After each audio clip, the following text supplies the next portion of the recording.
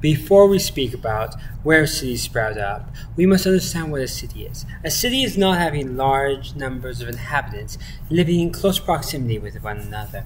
A city is not having monumental buildings within a settlement. You can have both of those and not be a city, and you can have a city without either of them. A city is a central hub of culture, society, and economics within a region.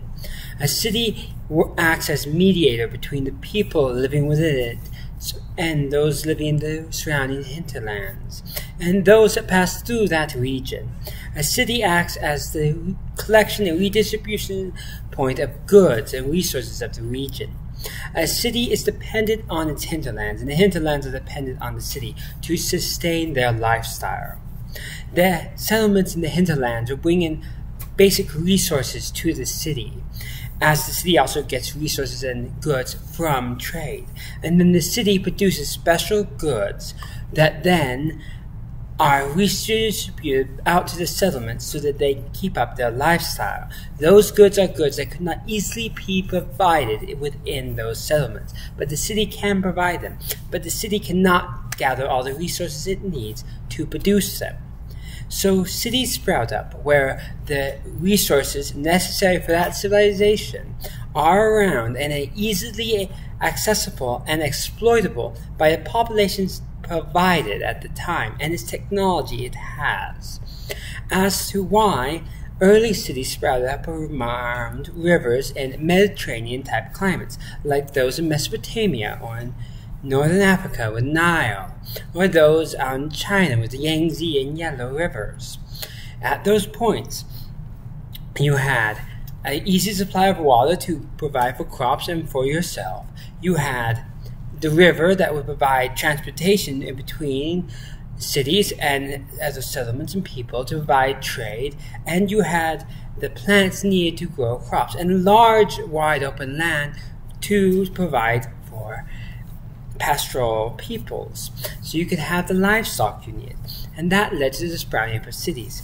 Now, within a day's journey from those cities, a day's journey of carrying cargo, you would have small settlements sprouting up all within that area to fill in that surrounding hinterlands of the city to provide the resources needed, whether that be farming, livestock, or other natural resources like copper, tin, or other metals, or stone. And so those would sprout up. And then between different cities that sprouted in regions, you would have other settlements out between them. Usually a day's journey, depending on what type of transportation is used, between those settlements until you reach the other city to facilitate trade between them. And depending on the transportation that could be used, the distance would vary. Along a river, the distance could be quite amount further between those settlements, as you could travel much quicker along a river with much larger cargo. And instead of how you could travel across land, where you're probably traveling at the speed you can walk, and you can't carry as much cargo, so the settlements would be smaller and closer together. And now, if a civilization relies upon something like a Pony Express, you would have even smaller settlements that sprout between those ones between the cities to provide quick travel and quick exchanging of mounts to provide quick giving of messages. And all those are dependent on where cities are sprout up. And as civilizations get more and more complex and travel technology gets more and more complex and more and more efficient and quicker, and you gain larger and larger population, new cities will sprout out.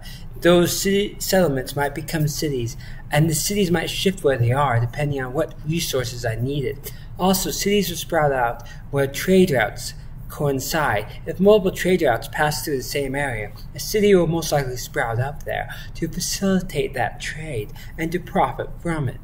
And so all these are places where cities might sprout out, and these basic rules will determine where cities are likely to be, and they still determine that even down to this day. Like and subscribe.